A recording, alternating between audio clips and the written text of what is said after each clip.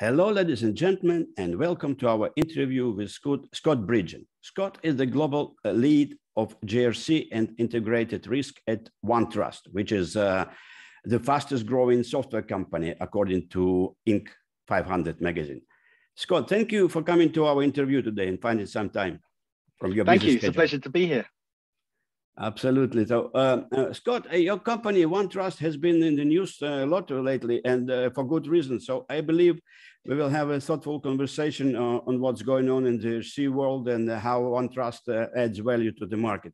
And Scott, you, you have been working on some truly innovative solutions around integrated GRC, third-party risk and privacy. And I'm very excited to, to chat with you about these topics and um, also about high growth of your company. So when I used to work uh, as a risk manager about 10 years ago, there was no such company. And you guys, you guys just uh, celebrated uh, five years, I believe. So could you we perhaps did. tell us a, a, short story about OneTrust and how you were able to achieve such high growth from from zero to thousands customers uh, in short time and whether it's a good indication that uh, GRC topics are very hot and uh, on top of mind of boards and executives. Absolutely. So our founder and CEO, Kabir Barday, um, had a bit of a vision. Um, he recognized that privacy professionals were relatively unloved. Privacy isn't a new thing. GDPR, whilst it was a, a you know a big bang and it was a long build up, it, it wasn't particularly new and revolutionary in the standard sense. The rights and freedoms of individuals had long been involved, you know, mainland Europe, France, Germany, Spain, Portugal, Italy. Um, however, the technology side of things that supported those users was relatively in its infancy or was repurposed traditional GRC. And privacy people were not particularly loved or supported in the way that they wanted to operate. And also with the coming legislation at the time, they needed something that would give them the capability to be able to manage and maintain that. And so was born OneTrust effectively. Um, I mean, there's a, a great story that Kabir will tell himself in a lot better way, but in its simplest format, that's really what we did. And from there, we approached GRC from a slightly different angle.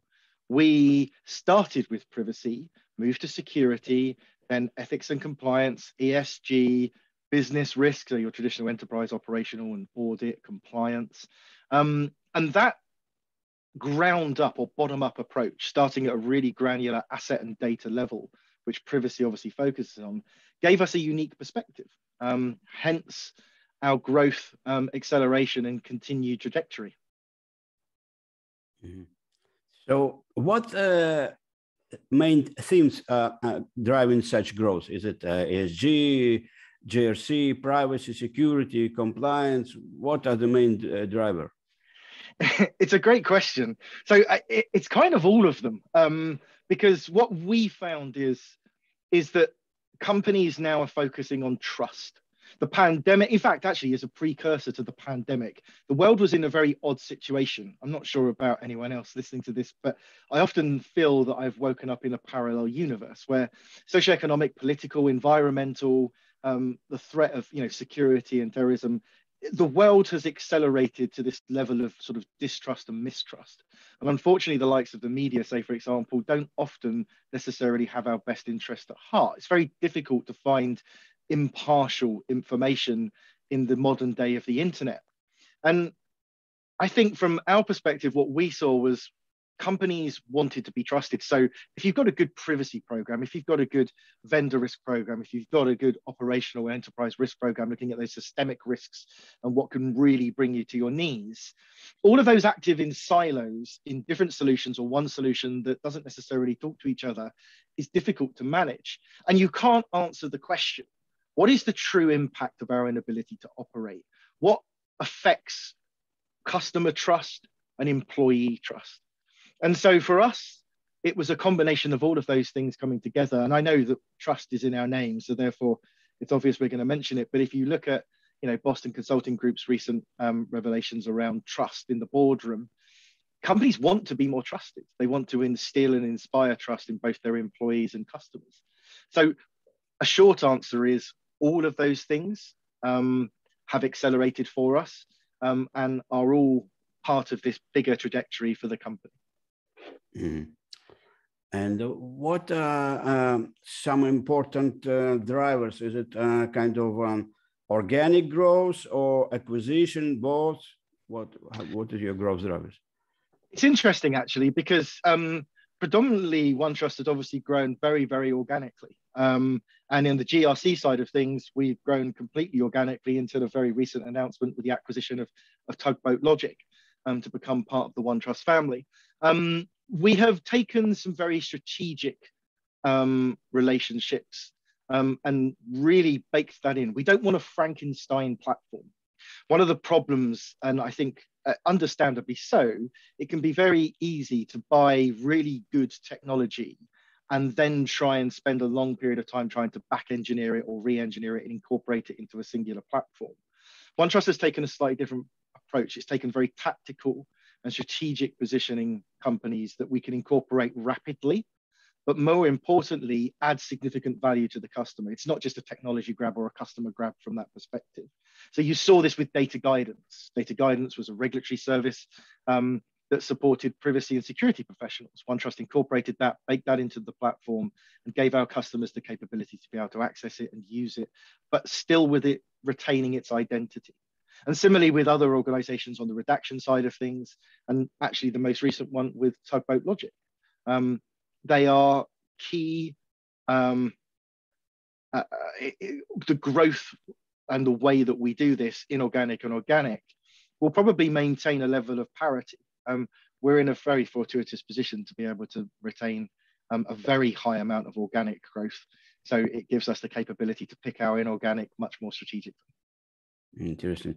So um, OneTrust uh, named uh, recently as uh, by Forrester, I think, uh, uh, in the category uh, as a, leader in the category of governance, risk, and compliance platforms.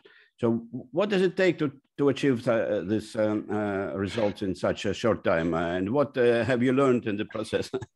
Maybe yeah, you can share. A, a very grey beard. Um, that's I can tell you that. Um, so it, it's interesting. Um, GRC um, and integrated risk management, um, they are, the market is shifting and changing.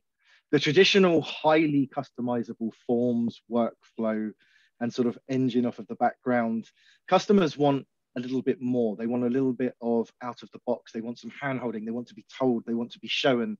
They want some best practice. And don't get me wrong, the, you know, the, the big four and large consultancies and even smaller consultancies still are very much in, in need um, by these customers to sort of build out these programs. But I think people just don't want to wait for solutions to be configured anymore. And I, for us, getting into into the Forrester wave, um, and on an inaugural um, entry um, was was down to a couple of key things. Number one is is we showed the holistic journey end to end um, and provided the capability to be able to say, look, um, risk is core and central. For too long, people have taken a compliance based approach to things. And it's odd because actually, I think that's more cultural. If you look at EMEA in comparison to North America, North America, ambulance chasing culture of the 80s, very compliance focused. Post World War II culture, ex occupied countries across Europe, risk based culture. And, and I'm sure there are some psychological and anthropological aspects to that. And there's some, actually some very good writers that have brought those, those things together and, and tied them up.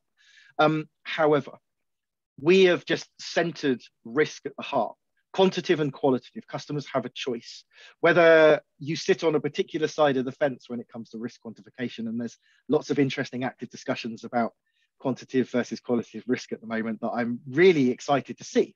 Um, from my perspective, it, it's great.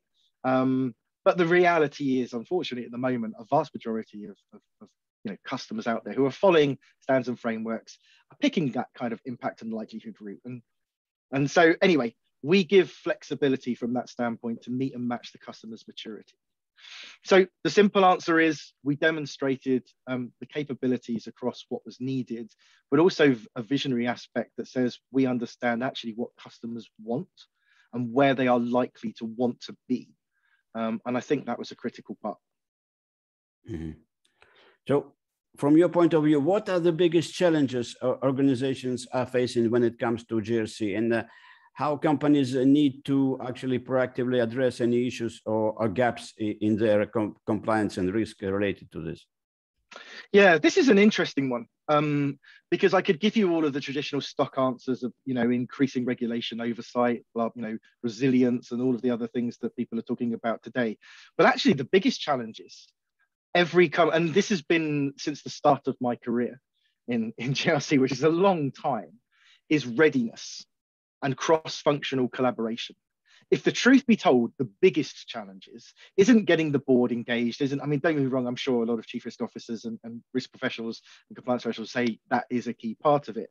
But when you come to actually um, utilizing technology to support you in your journey and your kind of upgrade from that spreadsheet, the biggest challenge is actually how in order your house is to make that move, to grow into a set of technology to be able to do that. The ability to have grown up conversations with different domain stakeholders about taxonomy, scoring, methodology, approach, workflow, ownership, trusting and entrusting data as a line of business, whether that's risk controls, assets, processes. That is still and will continue to be the biggest challenge that people face is not necessarily being ready for a tool, but going into a buying cycle, sometimes getting a little bit caught up in that cycle and the promises of what a GRC provider says they can do, and ultimately takes them through a world of pain, which reflects badly on the technology provider, but ultimately ends up being actually the responsibility of the organization, just not quite being ready. Mm-hmm. So I would like to ask you a personal opinion. Uh, mm. What what is a commonly held belief or misconception in the GRC field, uh, or that you are strongly disagree with? Oh, that's a good question. a commonly held belief that's a misconception. Um, I would, yeah, I, I would say that um, ERM belongs to audit. Um, oh. I don't think it does anymore. Um, enterprise, and in fact, actually, we are beginning to see a significant shift of enterprise risk um, not being a function of audit. And I think that was probably more traditionally financial services and more highly regulated industries or mature industries. However, um, we are seeing ERM managers spring up and pop up um, all across different sized organizations because systemic risk is key and critical because the board speak the same language as the first line. This is the thing that's always been interesting from my perspective is um, you've always had the risk and compliance professionals sat in the middle trying to be the translator, the diplomat, um, and all too often trying to take that information and turn it into something valuable. Hence why quite often impact and likelihood probably isn't the best scale to use. But anyway, that's a conversation for a different time. Um, and so enterprise risk being a function outside of audit means that someone can spend that time linking it to objectives, not just the long-term stuff either you know the mm-hmm. horizon and the big and the, and the long term companies operate in okrs now all too often or short or medium term very specific highly driven metrics goals north star metrics. All of these different concepts have been around quite a while but people are finding value in them. And why not be able to tell someone actually properly objective centric risk? Tell them here is the objective you want to do. Make more money deliver more widgets get more customer satisfaction increase our market share and here are the things that could prevent us from doing so and how that could impact it. So I think it's a common misconception that enterprise risk belongs as a function of audit. I don't, I think that's probably a little bit of a yeah, yeah.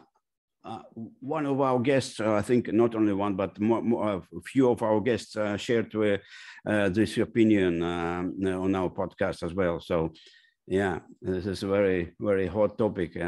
so, uh, if, if someone listening uh, to this interview would like to, to take one or two uh, uh, major takeaways uh, from what you said just, how would they implement this uh, conception?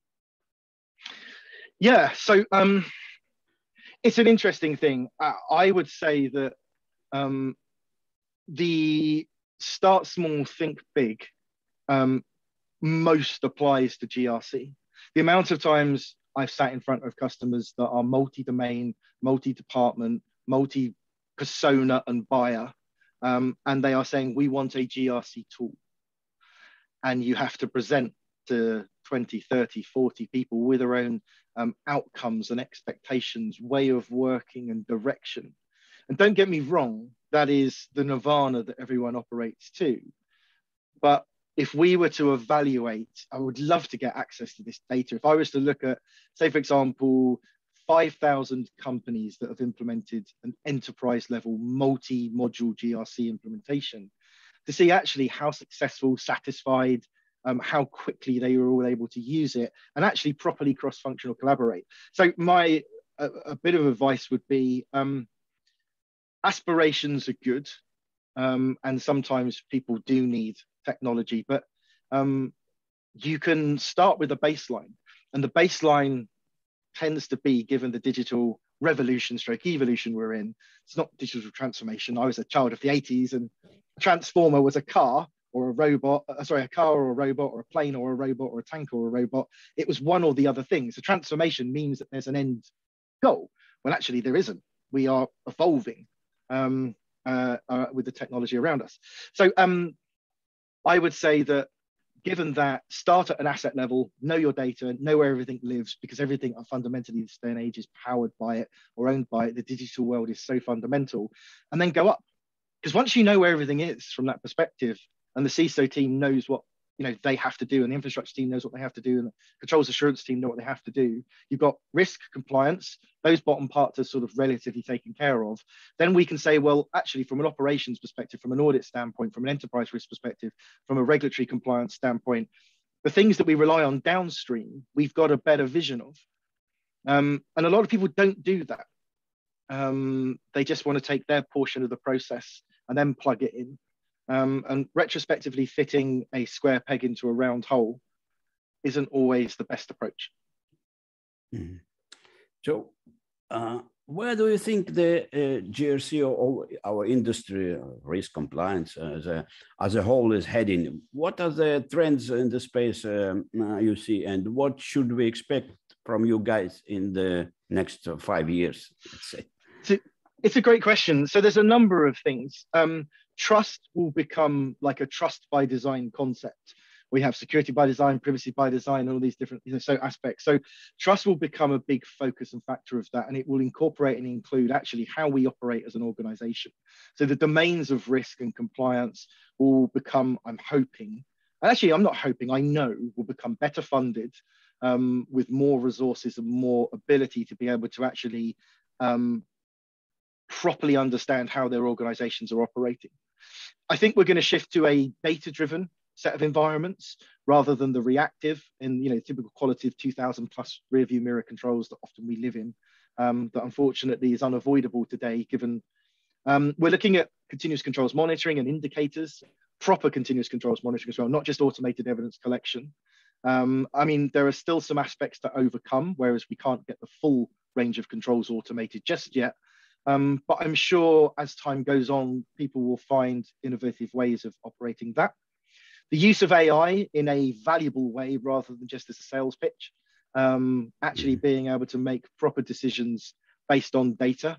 Um, the use of proper quantification. Um, I think all of the mathematicians out there and people that really care about risk quantification understand the value of, of proper data driven risk in a Gaussian world. So um, it would be nice if we had capabilities to, to, to, to that. Um, and I think then, lastly, what I see happening is, is that the technologies will play exceptionally well in ecosystems. The sort of function of risk management and compliance management will be so data driven from so many other tool sets that live outside of its world you think about the amount of technology that was implemented just during the course of the pandemic for people to pivot or operate or function more efficiently, both planned and um, unplanned technology or, or, or sort of shadow IT type stuff. There is a vast amount of data out there.